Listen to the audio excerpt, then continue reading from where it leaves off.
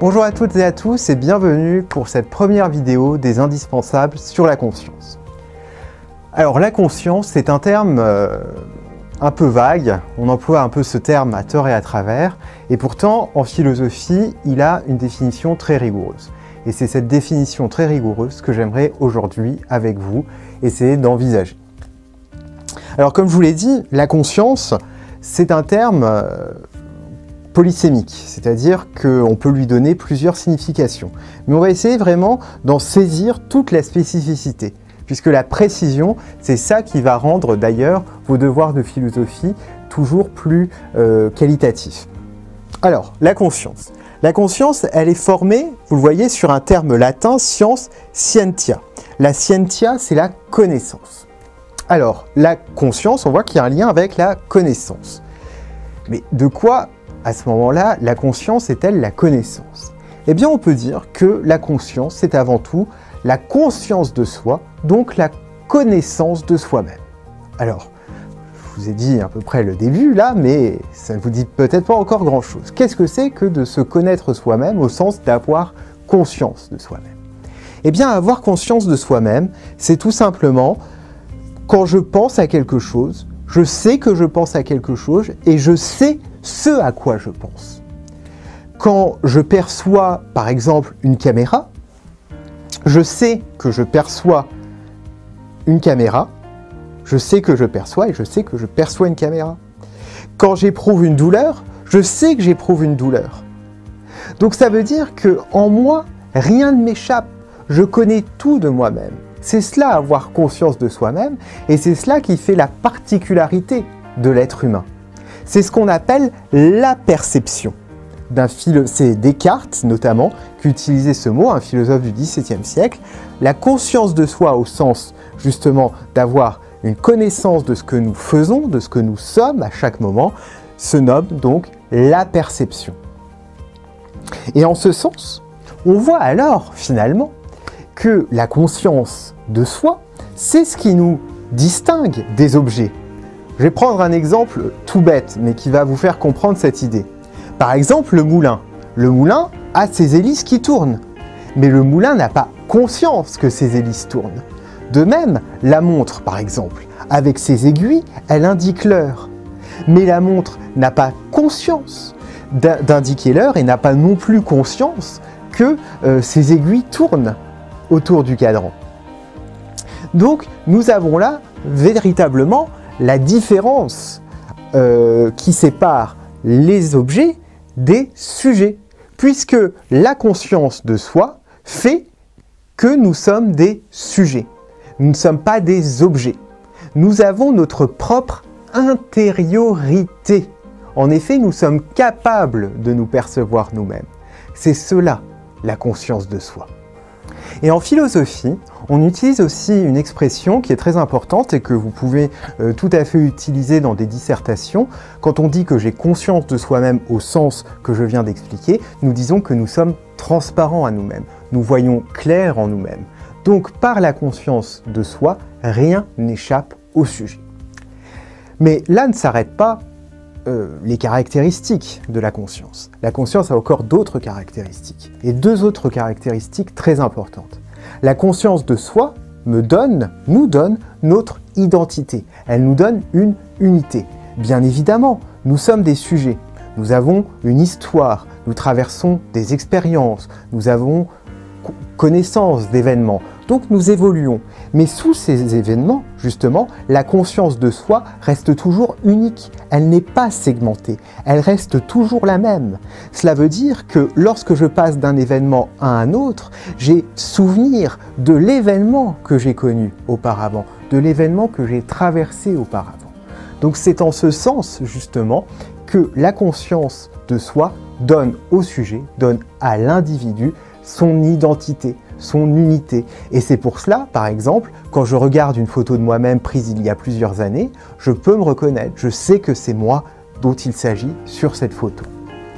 Et enfin, un autre point encore, la conscience m'offre et me donne, m'ouvre même un monde.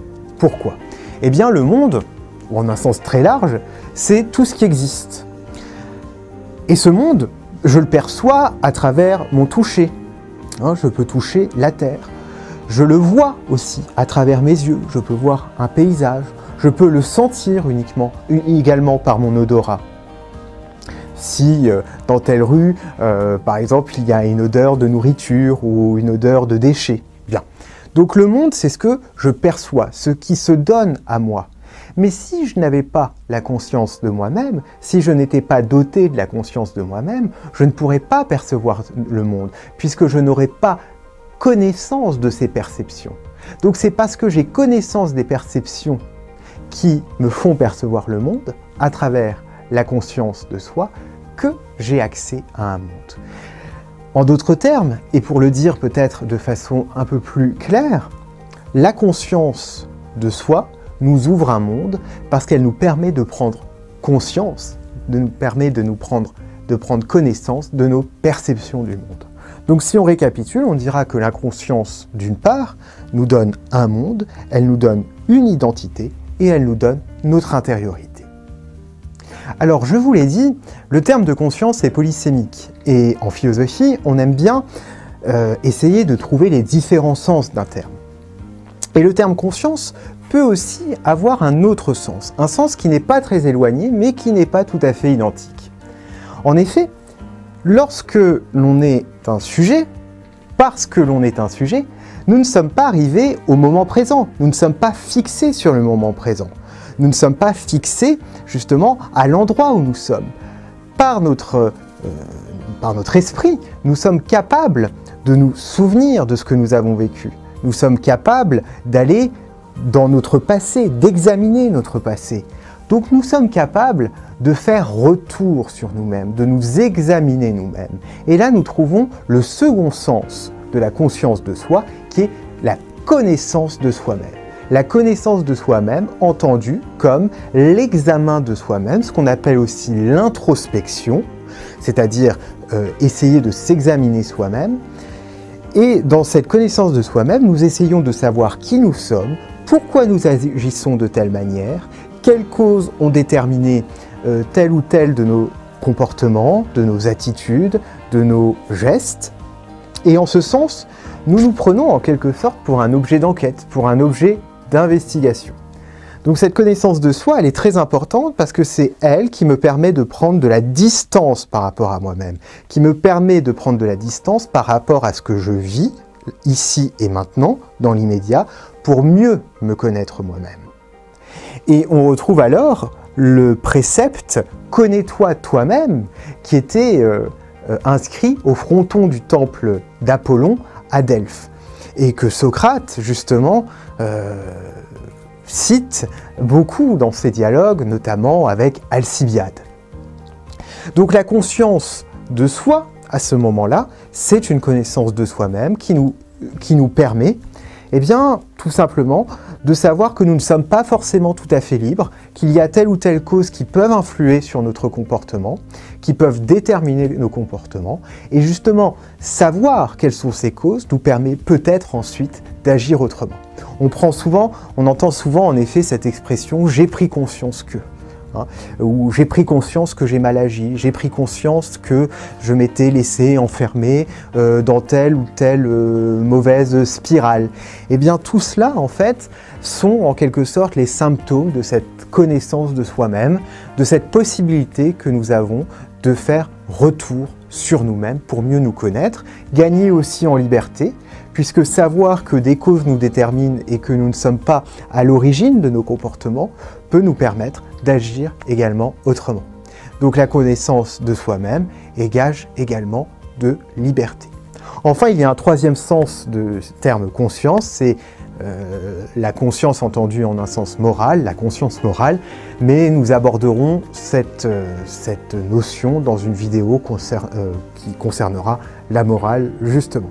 Alors dans la description de cette vidéo, vous trouverez un lien vers le blog Isofia avec un article où je mettrai, où j'ai mis différents textes concernant cette notion de conscience de soi. J'espère que cette vidéo vous a plu, j'espère qu'elle vous a permis également de pouvoir clarifier vos idées sur la conscience. Si elle vous a plu, n'hésitez pas à la partager, à la liker Et en attendant, à bientôt